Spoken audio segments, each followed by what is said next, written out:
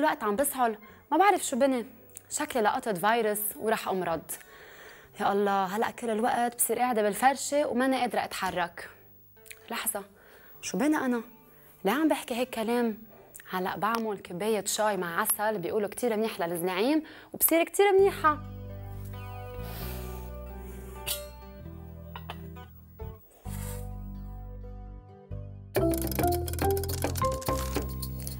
يلا نيومي عنا جديد. لازم تحفظيهم كتير منيح. 6 times 7 تما كتير صعبين. مش عم بقدر أحفظهم. ما عم بفوتوا براسي. نيومي بتعرفي إنه كل كلمة بتقوليها كتير مهمة؟ شو قصدك؟ كل كلمة بتقوليها من لسانك عندها قوة. يا أما بتدمر يا أما بتبني.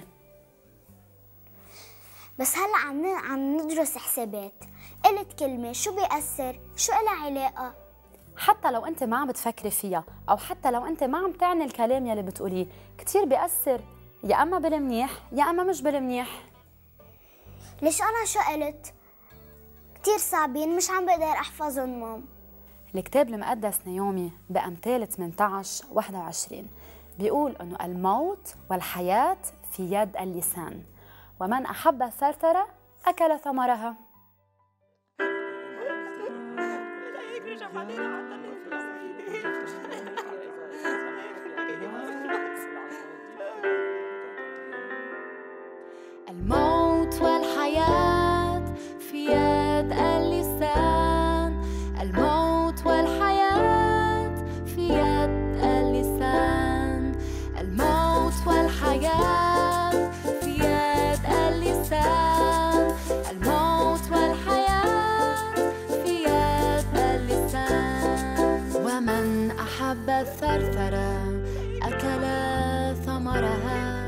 ومن أحب الثرثرة أكل ثمرها.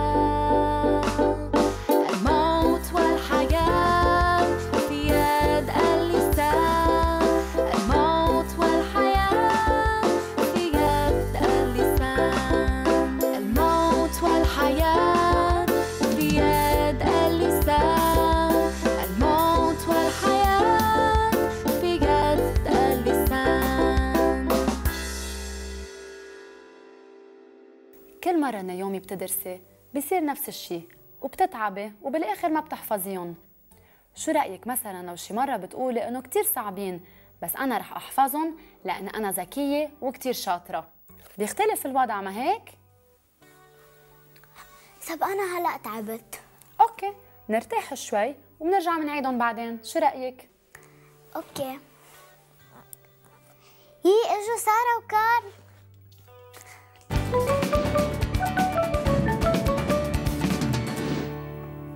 شو كيفكن؟ منيح. أنا كتير حب نلعب هاللعبة.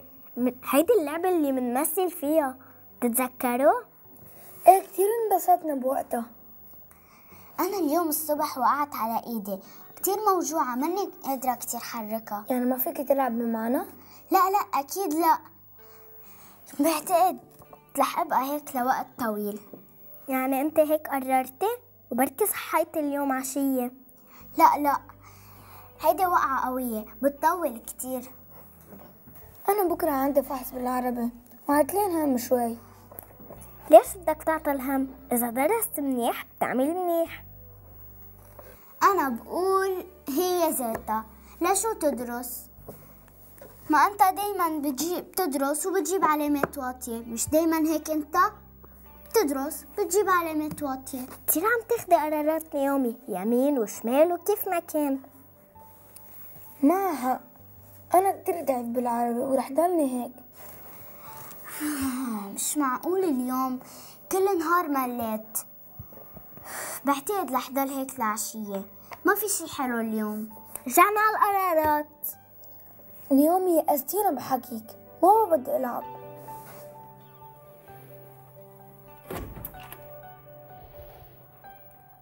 هاي كيفكن؟ شو بكون زعلانين؟ شو في؟ ما بعرف أنا وكارل كنا حابين نلعب مع نيومي بس نيومي ما بدها لا تلعب ولا تعمل شي اممم اشربي لك عصير يا نيومي بركي بتروق شوي إيه شو هيدا مام شو في نيومي؟ كتير سخن أنا لقيته طيب ما هيك سارة؟ إنه منه كتير بارد بس طيب. شكلك نيومي حابة تسمعي قصة. إنه بسمع بس ما تكون كتير طويلة. أوكي. ركزي منيح على القصة شو بتقول.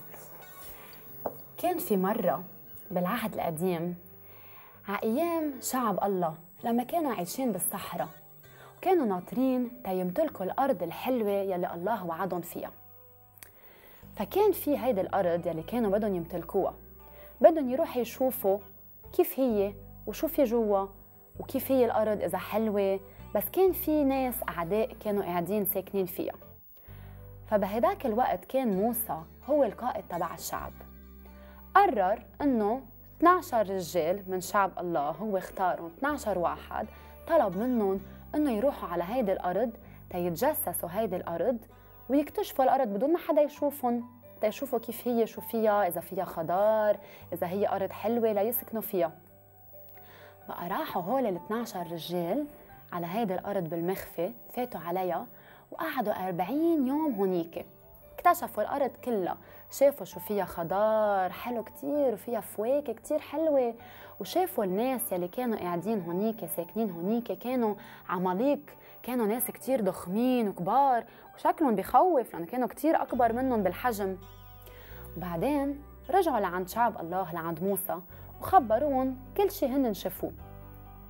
كان في عشرة من هول الرجال صاروا يقولوا له لموسى الأرض يا موسى كتير حلوة كتير حلو نسكن فيها ونقعد فيها. بس يا موسى الرجال الناس اللي قاعدة هونيك عماليق كتير كبيرة بتخوف ما فينا نحاربهم أبدا. أبدا أبدا. كتير هن قوايا أقوى منا. ما رح نقدر نسكن بهيدي الأرض. وموسى سمع هذا الكلام والشعب كلهم سمعوا هذا الكلام وخافوا وزعلوا كتير. قالوا يا الله كيف؟ الله وعدنا بهيك أرض حلوة ونحن ما رح نقدر نسكن فيها لأنه الناس اللي قاعدين فيها كتير هن أقوى منا. صاروا كلهم يزعلوا ويبكوا وخافوا خلص. قالوا ما رح نقدر نمتلك هيدي الأرض. لكن في شخصين من هول الرجال يلي راحوا وتجسسوا هيدي الأرض. جربوا يحكوا كلام مختلف. صاروا يقولوا لهم يا عالم شو بكون ما الله معنا الله وعدنا إنه يعطينا هيدي الأرض. يعني أكيد نحن رح نقدر نمتلك هيدي الأرض. بس فكركم سمعوا منهم لهول الرجالين يلي كانوا عم يحكوا؟ بطلوا قادرين يشوفوا شي حلو. صاروا كتير كانوا كل الوقت خايفين ومش قادرين بقى يشوفوا غير إنه مش رح نقدر نمتلك هيدي الأرض. ضلهم زعلانين وضلهم خايفين. معقول من ورا كم كلمة صغيرة كل الشعب صار يخاف ويبكي؟ شفت نيومي لأنه الموت والحياة في يد اللسان. كل كلمة منقولها يا نيومي كتير مهمة وفيها قوة.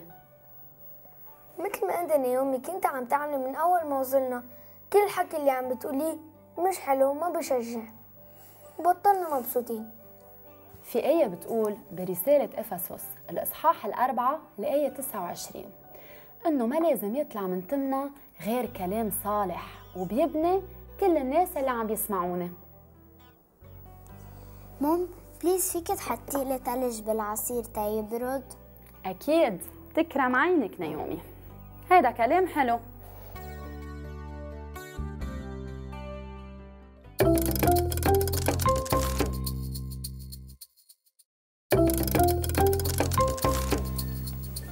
هالمرة جبت لكم جوس يعني يومي بس مع ثلج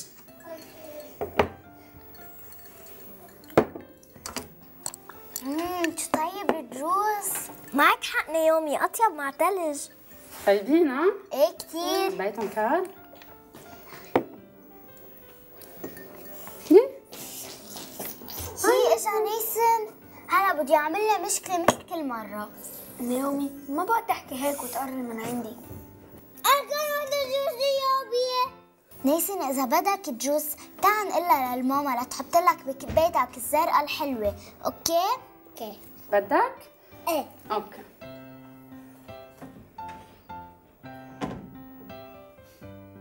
هيدي ثلج كبيرة لنيسن شو نيومي تحسن كلامك ما هيك؟ إيه عم بشتغل على حالي تتغير بس ما بعرف ليش هيك كنت عم بحكي اليوم.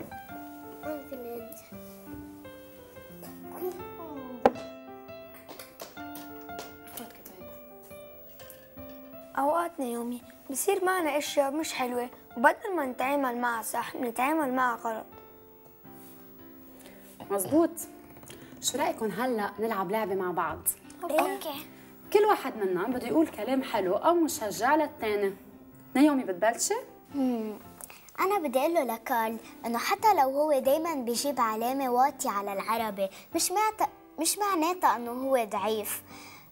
وأنا أكيد إنه بكرة حيجيب علامة عالية على العربي لأنه درس كتير منيح.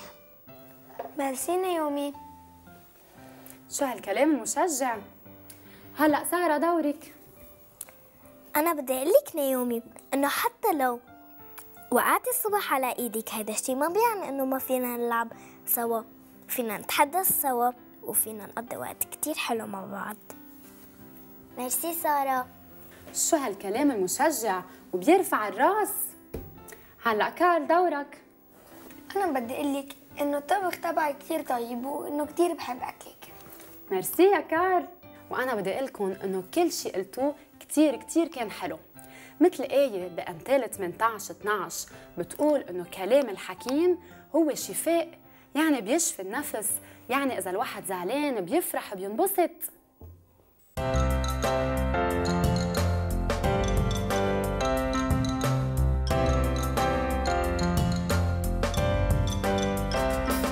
هناك من كلامه كطعن السيف كطعن السيف. هناك من كلامه كطعن السيف كطعن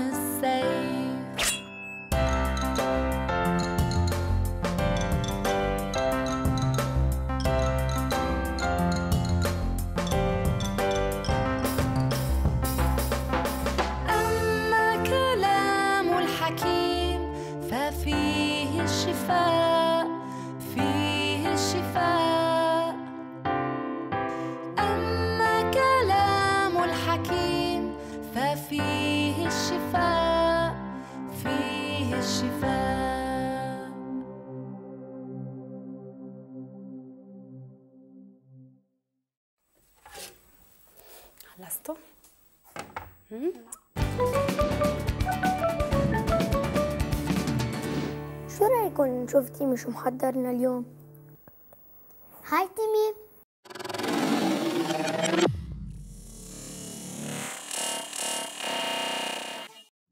هاي نيومي. كيف أنا ساعدك؟ تيمي أنا منيحة. شو فيك تخبرنا عن اللسان أو كيف الكتاب المقدس بيخبرنا عن الكلام يلي منقوله.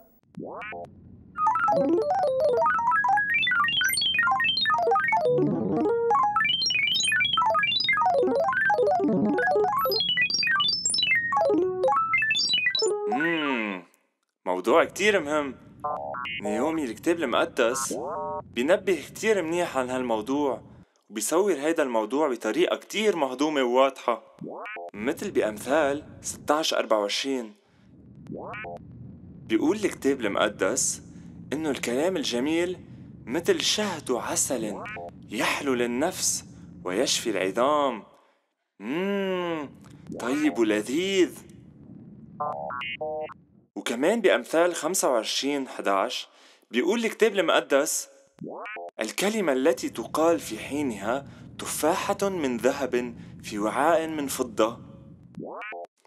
يعني مش مهم احكي كتير كتير لكن احكي الكلام المناسب والصح بالوقت المناسب.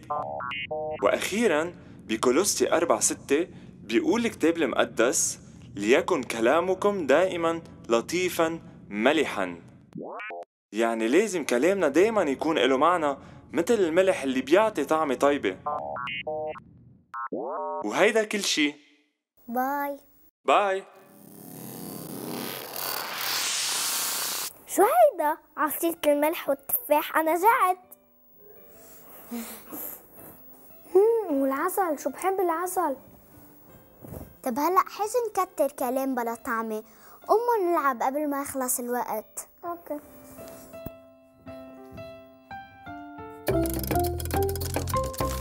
أنا عندي رفيق بالمدرسة بيحكي كتير لدرجة إنه بطل اسمع شو عم بقول وبقول أشياء ما إلها معنى وحتى كتير بشعة. لازم تروحوا تخبروا عن كل هالآيات وعن الملح والتفاحة والعسل.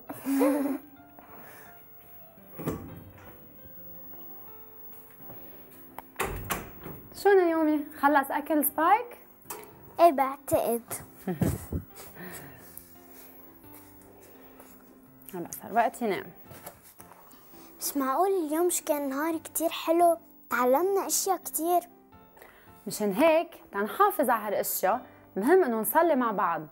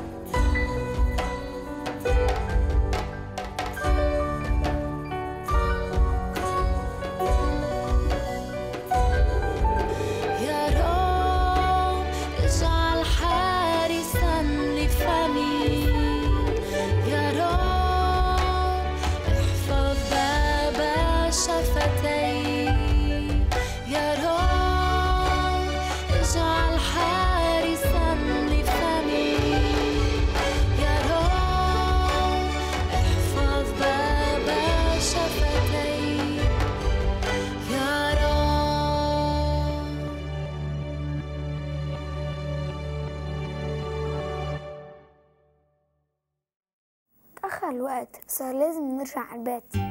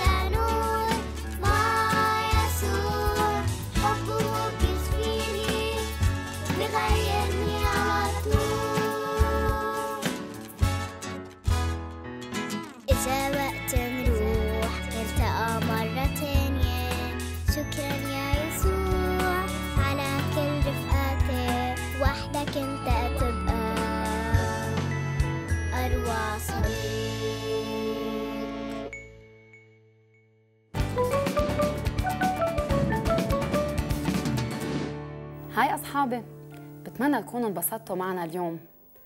وتذكروا دايما إنه الكتاب المقدس بيعلمنا إنه دايما نحكي كلام مشجع وكلام بيبني الآخرين يلي عم بيسمعونا. وما نكون عم نحكي حكي بيحبط الناس أو بفشل الناس.